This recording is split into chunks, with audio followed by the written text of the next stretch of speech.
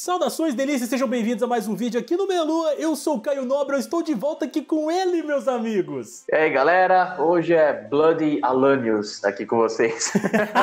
Exatamente, meus amigos, porque estamos aqui, vocês pediram muito nas lives e nos nossos vídeos aí, para poder falar dos fatalities do Mortal Kombat 11, cara. O que, que a gente achou, quais são as nossas impressões, o que, que mudou pra gente com relação aos Mortal Kombat anteriores. Então, a gente vai dar a nossa opinião a respeito aqui, pelo menos dos que estão disponíveis até agora, porque são sete personagens apenas e tem muitos outros pra poder sair. Mas antes da gente continuar a falar sobre isso, gostaria de pedir a você que tá assistindo para deixar o seu like aqui embaixo, se inscrever no canal e ativar o sininho para não perder nenhuma notificação dos próximos vídeos, meus amigos. Nova regra do YouTube, então já ativa para poder ficar esperto e vem com a gente. Meu querido Blood Alanios, eu te passo a palavra como de praxe, meu amigo, para você começar aí a falar as suas impressões sobre esses fatalities que estão cinematográficos, meu amigo. Cara, eu vou falar para você que eu gostei muito da forma como os fatalities foram trabalhados, ou pelo menos da forma como esses foram apresentados até agora, né? Essa ideia de fazer de uma forma um pouco mais cinematográfica, a gente já viu lá no Deadly Alliance, né? Que você fazia o Fatality e aí ele rodava filminho do, do Fatality, né? A ideia já é antiga, não é uma ideia recente. Entretanto, dá para perceber que eles aprenderam muito a como construir as cenas. Isso é uma coisa que logo de cara, lá no trailer mesmo, já deu para ver que eles estavam aprendendo muito a, a, trabalhar com isso, trazer uma dramaticidade maior para cenas, trazer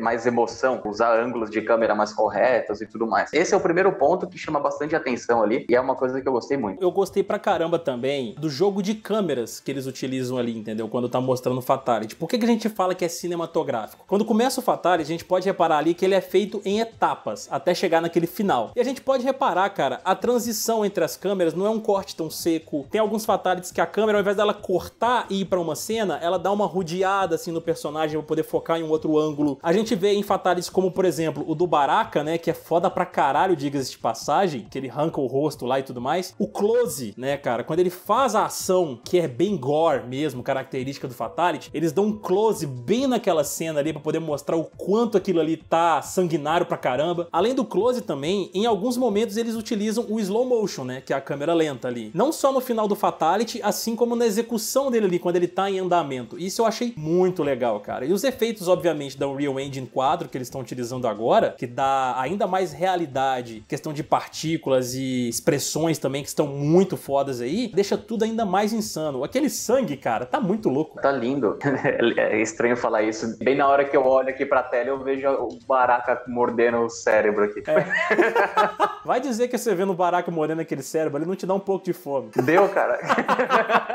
parece que tá mordendo um burrito com uma vontade tão grande. Ele morde de um jeito que parece que aquele cérebro tá muito gostoso. Momento Hannibal. Né? É, momento Hannibal, boa. Um outro ponto que eu acho interessante que foi trabalhado aqui, o lance de que o Fatality é falado antes de quem venceu a luta, tá ligado? É um detalhe, é uma coisa simples, mas dá um impacto maior. Então, você vai lá, faz a sequência, seu personagem mata o cara, por exemplo, o Sub-Zero lá, do Spider Rip, né? Puxa a espinha ali e tal. Na hora que ele quebra a cabeça, o cara fala Fatality. E aí depois ele diz Sub-Zero wins. Sim. Eu achei muito interessante o lance do Fatality vem antes, cara. Ele dá um impacto que antes não dava, tá ligado? Quando ele fala o Fatality depois, ele passa uma situação onde você fica mais apático ao que tá acontecendo. É algo tipo, ah, é só mais uma terça-feira, como diria o Bison, tá ligado? Sim, e isso é bem verdade mesmo que você fala, porque eu reparei nesse detalhe deles falarem primeiro Fatality. Eu achei muito foda, porque assim, é logo depois daquela câmera lenta do final, que ele faz a execução master ali no personagem, aí assim que tá acabando o momento momentum, aí fala fatality, meio que no clima ainda. Aí depois ele faz a apresentação final e tal, e a gente já absorveu aquilo ali que aconteceu. Eu achei muito foda, cara. Eu gostei muito disso. E eu tinha falado do, do Spine Rip do Sub-Zero, queria fazer um comentário a respeito desse fatality, porque eu achei ele muito bem trabalhado. Porque primeiro o Sub-Zero faz um clone com uma lança. Ele faz o slide, o Scorpion roda no ar, no caso desse vídeo, né? Cai com a coluna na lança. E na hora que ele cai com a coluna na lança, certamente ali ali a lança rompeu a espinha. E aí o Sub-Zero vai lá, enfia a mão e a espinha que já tá quebrada, ele simplesmente puxa, tá ligado? Terminando de fazer o estrago ali. Eles foram pra um lado mais criativo da parada e mais crível, vamos dizer assim. Não é crível, porque tem muito Fatality que é exagerado pra caralho e eles fazem isso pela questão da diversão mesmo, pra poder deixar o mais gore possível. Mas eu achei inteligente essa sacada, entendeu? Pô, caiu na lança, quebrou a coluna, ele foi lá e terminou de tirar. É que nem, por exemplo, você acabou de citar aí agora, eu vou citar do meu homem aqui agora, que é o Scorpion. Eu achei achei que ficou assim, classudo o fatality dele, que ele joga a corrente quente no personagem, aí enfia no peito dele, ele dá aquele pulo ao contrário lá, aí quando ele puxa, o personagem vai e rasga no meio e você vê tudo tostado ali, entendeu? Não sai sangue, não sai nada, que tá tudo tostado. E aquele ali ficou bem cinematográfico, principalmente pela pose do Scorpion no final, cara. Muito da hora essa pose. Aproveitando que você comentou sobre esse fatality, é interessante perceber, por exemplo, a língua do cara, ela não fica dividida ao meio, ela fica em um dos lados. A expressão facial, ela é assimétrica. Isso mostra que os caras não fizeram uma expressão usando mirror, vamos Sim. falar assim, porque quando a gente vai fazer modelagem 3D ali, a gente vai fazer o personagem, muitas vezes a gente trabalha com um lance de mirror, né? Então você mexe de um lado, o outro lado mexe sozinho. Então, algumas expressões que podem ser expressões de dor, esse tipo de coisa assim, você pode mexer de um lado, vai distorcer do outro junto tal. Como eles tinham comentado, que eles tinham feito esse escaneamento facial, dá para ver que isso fica mais evidente nesses fatalities por conta da assimetria da expressão. Porque o nosso rosto, ele se expressa de forma assimétrica, né? Você tampa metade do seu rosto e dá um sorriso, cada metade vai se expressar de uma forma diferente. Isso é muito interessante porque isso os caras conseguiram transmitir no jogo. Exatamente, cara. As expressões mesmo de dor, não só nos fatalities que a gente tá comentando aqui agora, mas a gente pode ver durante o gameplay também, quando eles efetuam um Fatal Blow, por exemplo, ou então usam um Interactable no cenário, as expressões estão muito reais, cara. Você vê os personagens realmente sentindo dor. E nos Fatalities não é diferente. As expressões são mais verdadeiras. No Fatality do Geras, quando ele dá um murro nas costas do personagem, um pedaço pra frente, assim, a pessoa dá aquela envergada, tá ligado? E faz aquela cara de. Ah, é da hora. Os Fatalities da Scarlet mesmo, que foram dois que mostraram que ela enche o coração do cara de sangue. E pior ainda, o outro que ela tira o sangue de dentro do personagem ali. Pelo olho, pela boca, né?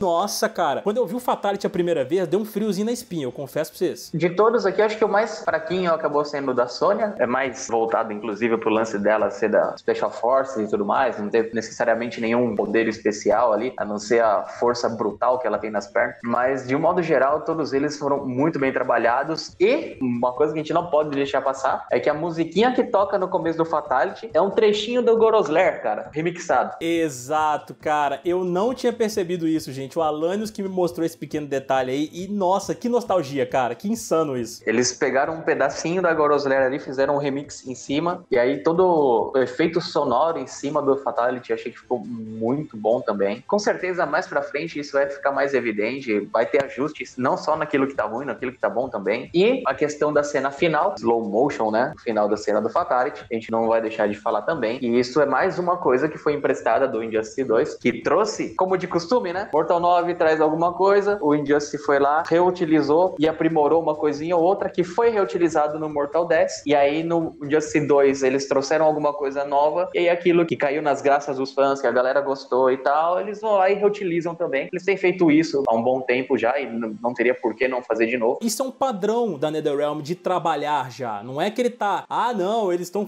copiando o jogo para ser igual ao jogo anterior. Não, cara, não é bem assim. Isso é um padrão de trabalho deles mesmo, em todos esses anos que eles estão mexendo com Mortal Kombat Injustice, entendeu? Tem nada de ruim eles terem emprestado a mecânica de win pose lá do Injustice e ter colocado no Mortal. Então só nos resta esperar, cara, os próximos Fatalities aí que virão, com os próximos personagens que serão anunciados, e até mesmo esses que já foram anunciados devem ter mais Fatalities aí por vir. E agora a gente passa a palavra para você, querido espectador, poder comentar aí agora o que você achou de tudo isso que a gente falou, cara. Você percebeu esses detalhes que a gente comentou? Você achou os Fatalities mais cinematográficos? Você gostou dos Fatalities do Mortal Kombat 11 até agora? A gente vai gostar pra caramba de conversar com vocês aqui nos comentários a respeito disso. E não se esqueçam novamente de deixar o seu like embaixo, se inscrever no canal e ativar as notificações para não perder nenhum vídeo, cara, porque isso é muito importante e você não perde nada de conteúdo aqui no Meia Lua. Então vamos ficando por aqui. Um beijo. Gostou do seu desmolhado na popinha esquerda e direita de cada um de vocês? Até mais. E... Fatality.